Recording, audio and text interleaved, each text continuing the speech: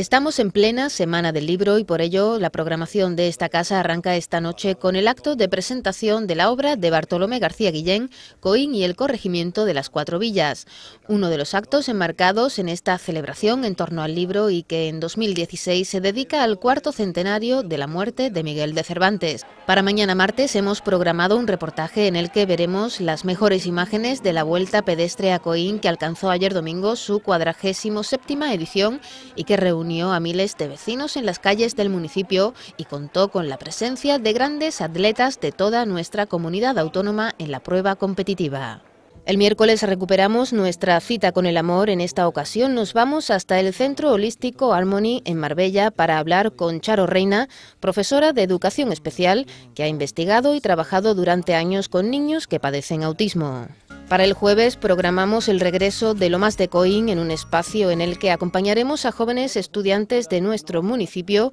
que destacan por su excelencia académica. Un estudiante de ingeniería con el mejor expediente de la Universidad de Málaga y que es vecino de nuestra localidad y unas jóvenes estudiantes de secundaria que participan en el programa Estalmat de la Universidad de Granada y en el que se trabaja el talento matemático. El jueves se los presentamos. Y para la noche del viernes dejamos la última charla debate de la Asociación Viva Coín, que se centró en los modelos urbanísticos para el centro del municipio y en el que se abordaron los diferentes ámbitos que se ven afectados por la elección de uno u otro modelo de desarrollo urbano.